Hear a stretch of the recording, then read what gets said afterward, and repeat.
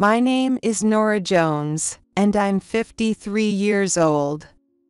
I work at a university. On the surface, I seem happy with a job at a major conglomerate, a well paid husband, and three lovely kids, but I've been troubled by my husband, Cody's behavior. Oh man, being surrounded by girls all the time is suffocating.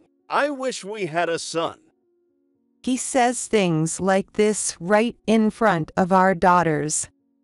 He also often stays out late, claiming to be at company parties, or says he's staying overnight at the office due to work, not coming home at all. I wanted to spend more time as a family, but I had grown completely cold toward him.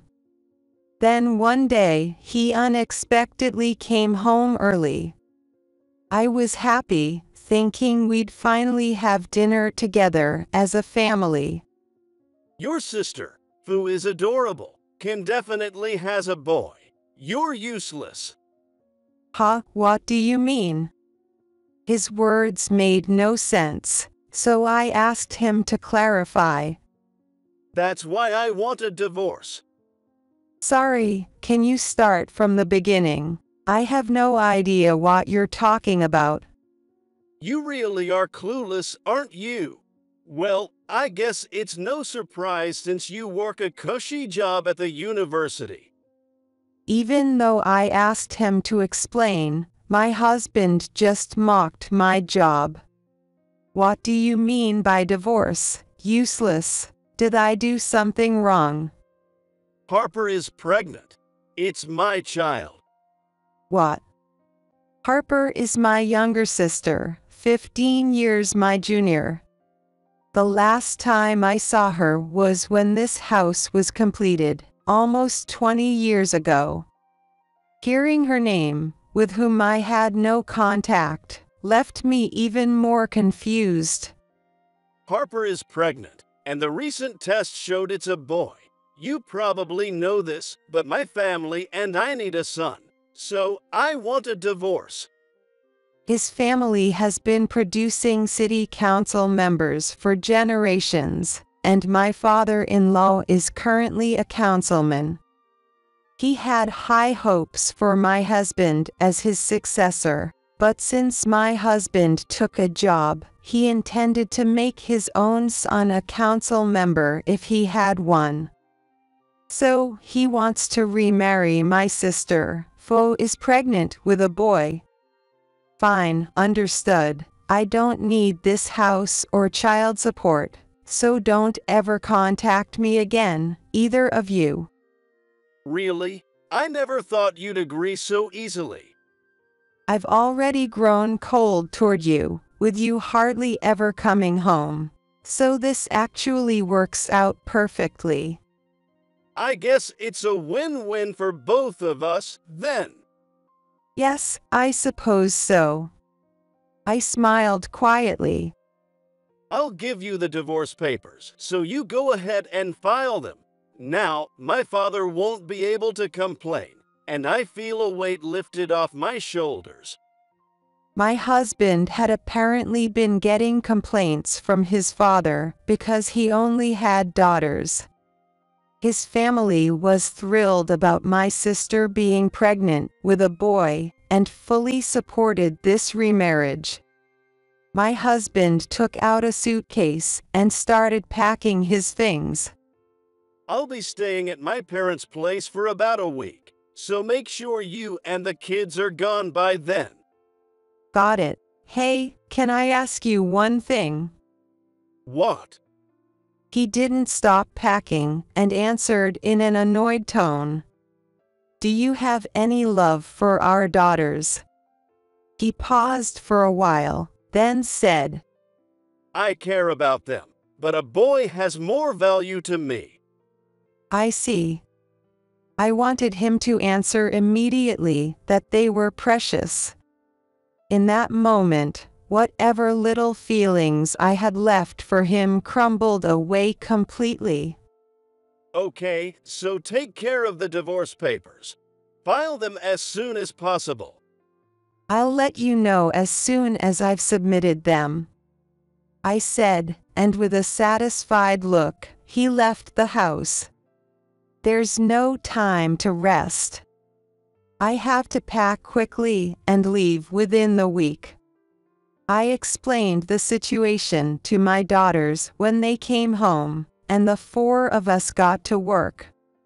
Having long been fed up with their father's attitude, my teenage daughters were delighted about the divorce and began packing with more enthusiasm than I did. This is how, in five days, we finished everything and left the house we were so used to, heading to my parents' place. My parents own a company and are quite wealthy, so even without alimony or child support from my ex-husband, Cody, we can manage with my income combined. My parents supported me emotionally and assured me they wouldn't contact my sister at all. Each of my daughters was given her own room, and they seemed to enjoy being away from their father, finding it more comfortable than before. One day, as I returned from work, my mother stopped me. Cody called this morning asking for your contact info. I told him I'd check with you and hung up. So he finally called. Thanks, you can give him my cell number if he calls again. Are you sure about this? Yes, I have a pretty good idea of what he wants. Pleased that things were going as expected, I headed to my room with a smile. A few days later, I got a call from an unregistered number on my phone. Since mom had mentioned giving Cody my number, it was probably him. Suppressing a laugh, I answered. Hello. It's an emergency. Get over here right now. Cody sounded frantic, his breathing heavy on the other end of the line. We're divorced, remember, I have no obligation to rush over when you have an emergency. Just come. It's about our house. It's not my house anymore, fine, I'm on my way. Run if you have to. As soon as I agreed to come, Cody hung up. Still as selfish as ever, Mom, I'm heading out to talk to Cody, so let the kids know I might be late. Mom looked at me with concern. Don't worry, I'm just going to listen to some foolish and pitiful people. I got into my car and drove to that house. Waiting there, pale faced, were Cody and my sister. It had been nearly 20 years since I'd last seen my sister. She was approaching her 40s, but dressed in a way that didn't suit her age. A pastel colored blouse and a white tight skirt, the kind of outfit a young office worker in her 20s might wear. Her nails were adorned with various decorations. Long time no see, Harper, you haven't changed a bit, have you? When I spoke, my sister glared at me from the corner of her eye. She sprang up from the sofa and lashed out at me in anger. We don't have time to reminisce. Because of you. We're in a huge mess. A huge mess? What happened? Don't play dumb. This is what's happening. Cody, who had been standing next to my sister, brought over a piece of paper and slammed it down on the table. An eviction notice. Oh, so they are doing a redevelopment around here. Cut the act. You knew this house was going to be demolished, didn't you? I looked straight into the furious faces of the two standing before me. Yes, I knew. Cody clicked his tongue and let out a loud sigh. When I got this notice, I called the person in charge in a panic. They said they already talked to you, but this is the first I'm hearing of it. Why didn't you tell me? Well, I was going to, but you never came home. I planned to tell you when we met, but then you suddenly asked for a divorce. I was so shocked. I completely forgot. I found out this house was targeted for redevelopment a week before Cody asked for a divorce. You could have just told me in an email. I did, actually, but who was it that blocked my emails? Every time I sent one, it bounced back. Well, that's. Realizing that he missed the information because of his own actions, Cody hung his head. Then you should have told me when you handed over the house. Who would worry about a man who cheated and had a child with someone else? Don't tell me you deliberately gave up this house to trap me. Do you see any other reason? Don't mess with me. When I learned of Cody's betrayal, I decided to stay quiet about the eviction as a form of revenge. Even the gods would forgive me for that much. The house is in your name, and you paid most of the mortgage. It would have been awkward for me to take it anyway. As I acted all modest on purpose, Cody and my sister turned red like tomatoes. We have a child on the way, and now, with the house gone, it'll be a huge burden on Harper. What if she has a miscarriage? You'll get compensation from the city. Until the new house is built, you can rent a nice apartment. You're having the precious boy, after all. I'm sure your father will help out. Yeah, but. No, it has to be this house. My sister screamed like a spoiled child. I didn't know you were so attached to this place, Harper. We finally got a big house, and even if we move, there's no guarantee we'll find a place as good as this one. Harper, yeah, you're right. My sister insisted it had to be this house, and Cody wanted to fulfill her wish. He patted her back, trying to calm her down. Why are you so obsessed with this house? Because I was jealous. Jealous.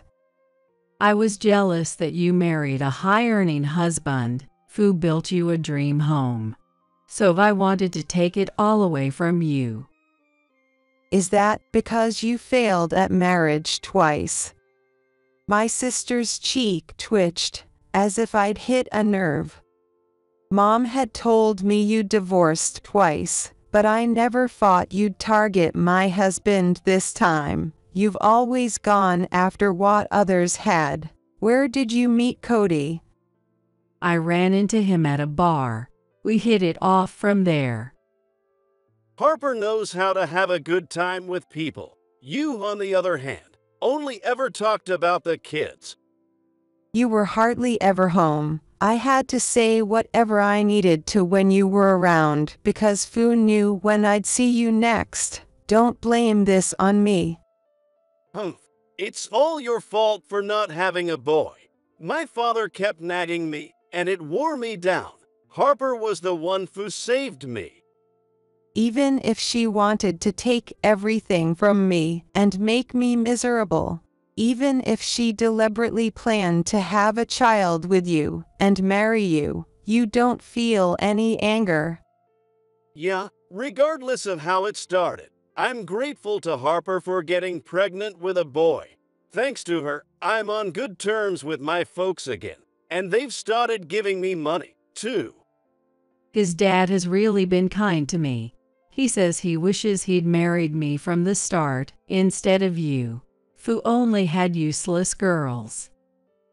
My sister sniggled up to Cody, and he put his arm around her shoulder. With my salary and my dad's support, and now that the three kids are out of the picture, we have a lot of financial freedom. It feels amazing to spend money however I want.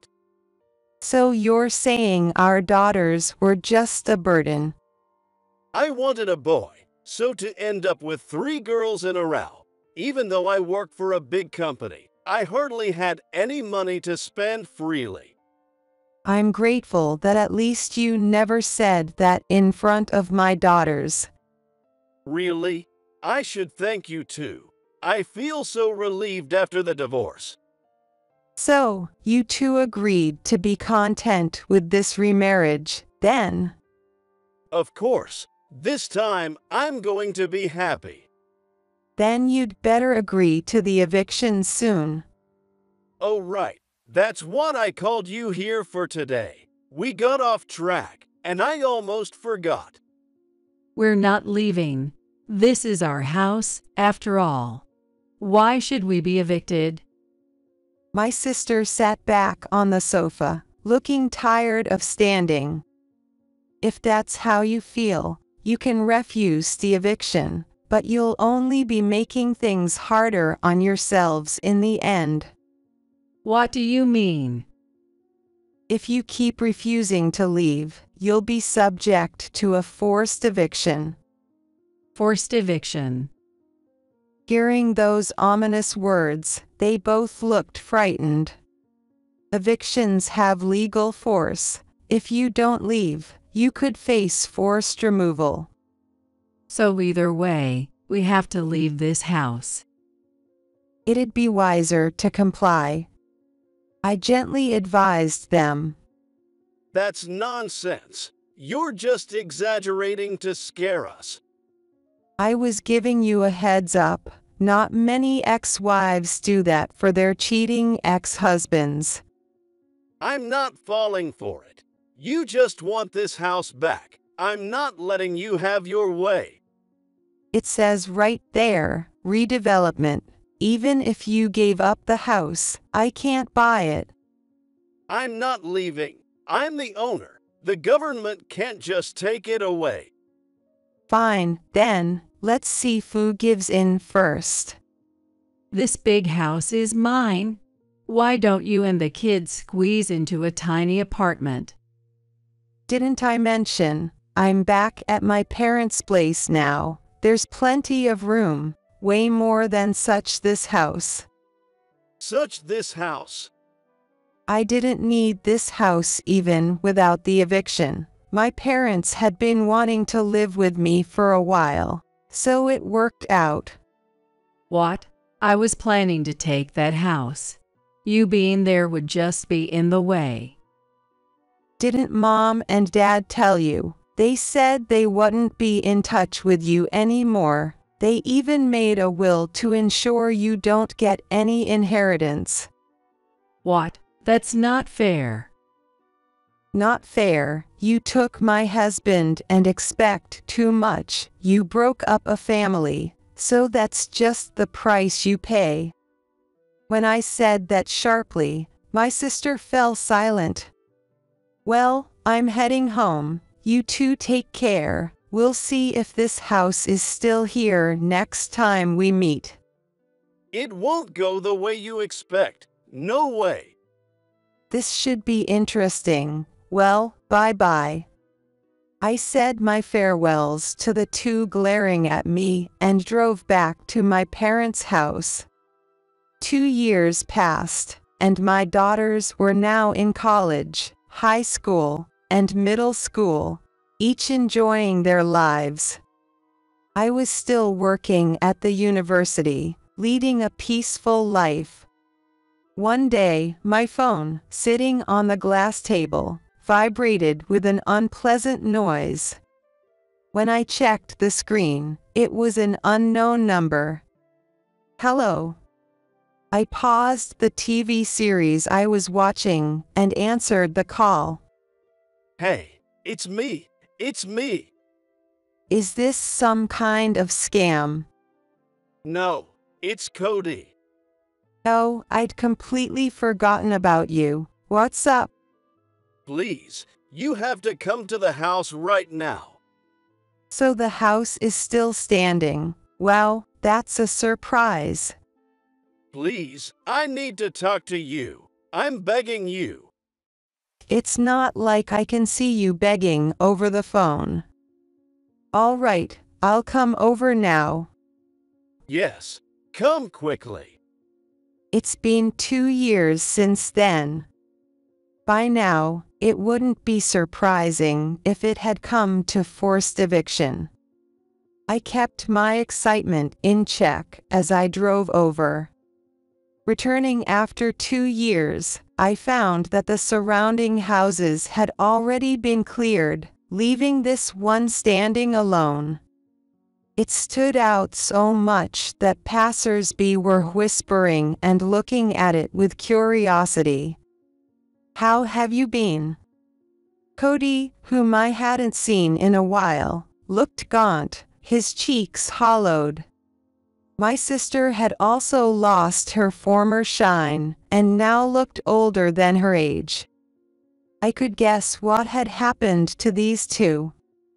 Without asking, this area has gotten quite lonely. Your house really stands out. It looks like a pathetic house clinging on, refusing to leave.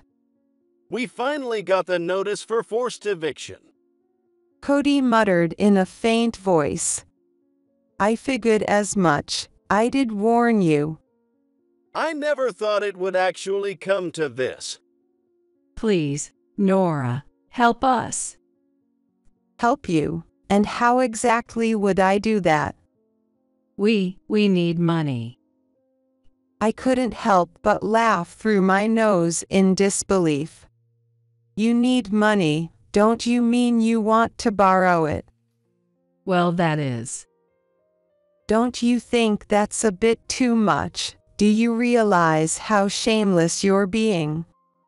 But, Harper, let me handle this. Nora, I'm swallowing my pride to ask you this. Please, give us some money. You're sticking with give us. Why do you need money? For the eviction. The government should be covering that. Well, since we refused to leave till the very end, they said they wouldn't give us the amount we wanted. So, they won't give you more than the initial offer. The time you spent stalling was meant for negotiating and increasing the payout. That's why I warned you. With that amount, we can't build a house like this one. You'll have to accept that. This is a mess you two created. You'll have to make do with what you have. It's not right to come to me for money. Please, do something. Nora, please. Unlike two years ago, they were now desperately pleading with me. They really wanted to live in a big house that badly. Knowing their pride, they couldn't accept a modest home. They must have thought it was better to swallow their pride and ask me for help. Even if I don't give you money, you have a good salary, and you get support from your family. Well, the thing is, I quit my job. You quit your job. After everything, I decided to become a city council member like my dad and resigned. I'm shocked. You used to hate the idea. Harper said city council members were so cool. I was just saying it. If you don't get elected, you're basically unemployed. You didn't know that, did you? At my words, Cody's shoulders trembled. So, you're not working now. You lost the election. I I lost. He mumbled, barely audible, but I caught the word lost. Even with your father's reputation as a city council member, it didn't work out. Word got out that I left you for Harper and then quickly had a son. It became gossip around the neighborhood, and somehow everyone found out I had an affair with my wife's sister and remarried. So, your father's reputation as a city council member tanked. He lost his re-election. Your family's income is now zero, and you quit your job, so you have no income either. My dad cut off his support, and he blames me for his loss in the election. He hasn't spoken to me since. Oh dear, that sounds tough. See, your parents won't take Harper's calls either. We're at a dead end. You're the only one we can turn to. Cody and my sister pleaded with me again. What about your savings? I figured my dad would keep giving us money, so we spent nearly all of it. It's awesome. Did marrying Harper make you lose your mind? What? Are you mocking me? You keep going after married men and end up miserable every time. What else can I call it but foolish? Don't get cocky just because we're asking for help. You're just a plain, boring woman who can't get remarried, so you're jealous of me. Hey, we're the ones asking for a favor here. Doesn't matter. Doesn't matter. Well then, let me say what I need to say. I took my phone out of my bag and started to operate it. What are you doing? Since you says it doesn't matter anymore, I'm going all out too. Oh, here it is. I pointed the phone at them and showed them a picture. This is Harper and who is this guy? How did you get that? Harper, it's not smart to cheat in your hometown. You'll get caught immediately. Harper. I recognize this guy. Isn't he your old boyfriend from high school? So it's still going on, huh? You were cheating. No, we just ran into each other and had coffee to reminisce. Coffee at a hotel. That's an interesting place for a coffee date. Want to see the picture of you leaving the hotel? Stop it. My sister snatched the phone from my hand and frantically deleted the photos. Deleting them is useless. They're saved in the cloud too. I can't believe this. You were cheating. I deeply despised Cody's double standard. He cheats but can't tolerate others doing the same. It's not like you have any right to be mad, Cody. Their argument got so heated that it seemed like it could be heard outside the house. To calm things down in a different way, I told Cody something. Are you sure the child is really yours, Cody? What do you mean? Harper was still seeing her ex. She said she was pregnant with your child, but is it really yours? Don't say weird things. Cody is the father of my son. Cody seemed unsure whether to believe her or not. He crossed his arms and stared at her intently. Lying isn't good, you might as well tell him the truth. I don't know what you're talking about. I spoke to your ex. What? You were seeing your ex while you were cheating with Cody. The timelines overlapped. So, you really were cheating. When you got pregnant, you went to the hospital together, didn't you? But you were also with Cody, so you got worried and did a DNA test. And guess what? The father was your ex. That's a lie. Your ex even proposed to you, but you turned him down, didn't you? That idiot couldn't keep his mouth shut. I know why you turned him down. His income was much lower than Cody's, wasn't it? My sister clenched her fists, her body trembling. Your ex was heartbroken.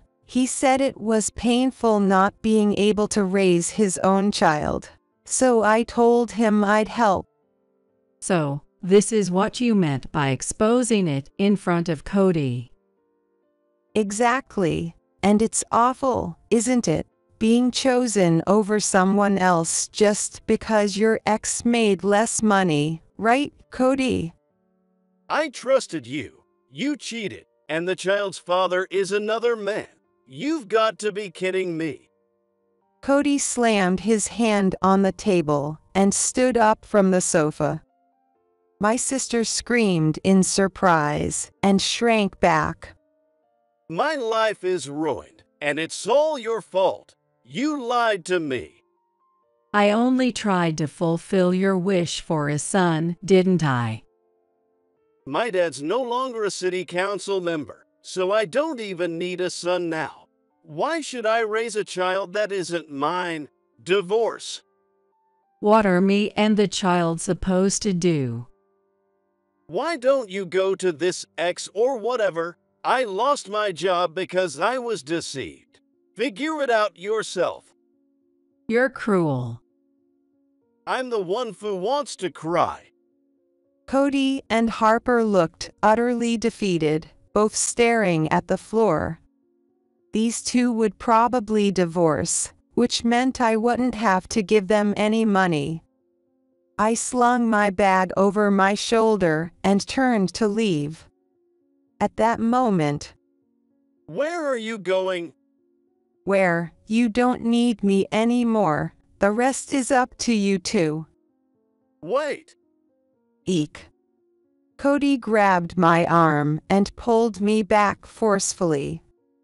Let go of me. Nora, can we try again? Don't be ridiculous. Why would I get back with you? I know it's late, but I realize now how much you meant to me. Living away from the kids made me feel so lonely. I want to be a family with you all again.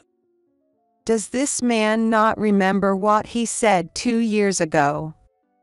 You told me my daughters weren't worth more than a son. How could I ever trust you again? No, I'm not taking you back.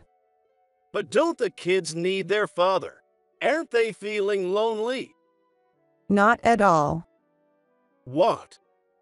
In fact, when we left, they were even more excited than I was to pack up. Since moving to my parents' place, they've been saying it's more spacious and peaceful without a dad who only criticizes. That can't be true. It is, all three of them say so, and the oldest is already in college. It doesn't matter to her anymore if she has a father around or not.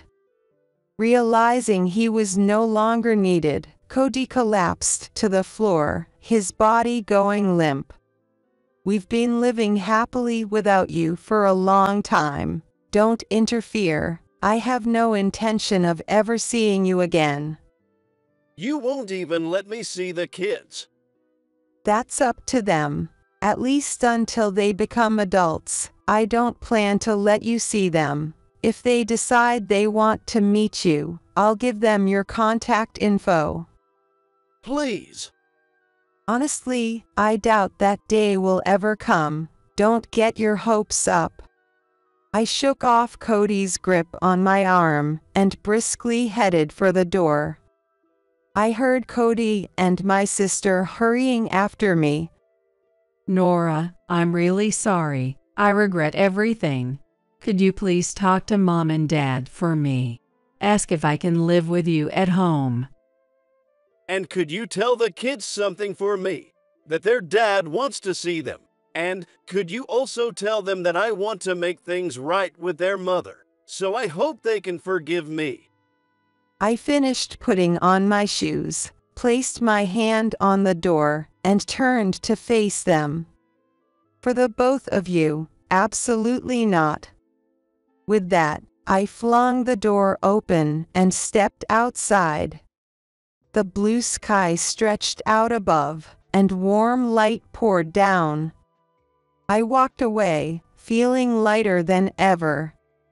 Later on, I witnessed the demolition of the house that had been marked for eviction. I heard that they divorced. My sister wasn't allowed back home and now lives with her ex in a 30 year old apartment. Cody went crying to his family and is currently staying with them while searching for a new job. As for me, I'm excited because my daughters and I are going on an overseas trip this summer vacation. I think we'll continue living without ever remembering Cody's existence.